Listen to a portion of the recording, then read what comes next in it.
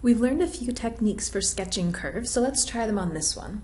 Uh, our function is x squared over the square root of x plus 1. So one of the first things we should check is the domain. We should notice that there's two things that could go wrong. First off, we can't take the square root of a negative number, and second off, we can't divide by 0. So certainly I need the square root of x plus 1 to not be equal to 0, and also I need x plus 1 to be greater than or equal to 0. And what this gives us is that x should be greater than minus 1.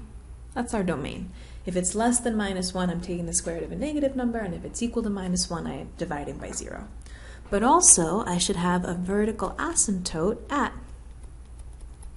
x equals minus 1, because again, if I have a minus 1, I'm dividing by 0, the top's not 0, so there should be a vertical asymptote there.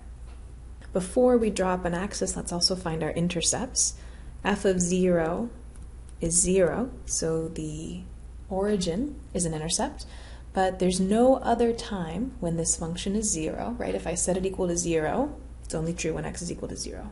So this is our only asymptote, uh, our only intercept.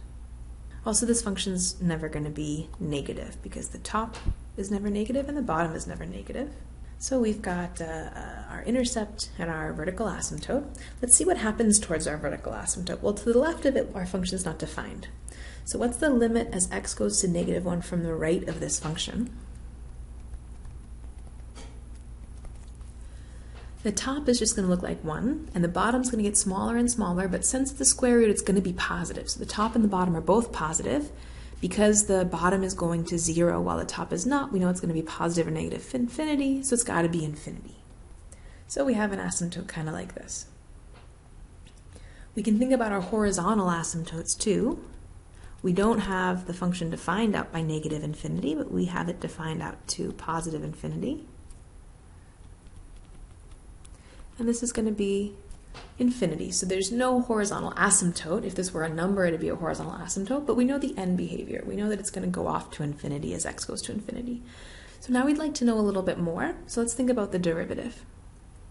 We can use the quotient rule, and we simplify. And notice usually when you have the square root of something squared, you get its absolute value.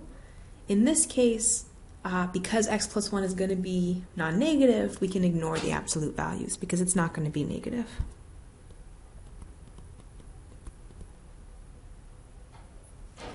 So here's our derivative. And we can see that at minus 1 we have a singularity, that's no surprise.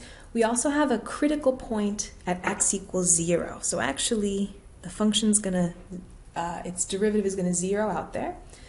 When I'm less than 0, well, let's see, the bottom's always positive because of our domain. When I'm uh, close to 0 but a little bit less, I'm going to have a negative times a positive. So it's going to be negative, so my function is decreasing until x equals 0. And then, if x is greater than 0, my derivative is positive. I can look and all these terms are positive.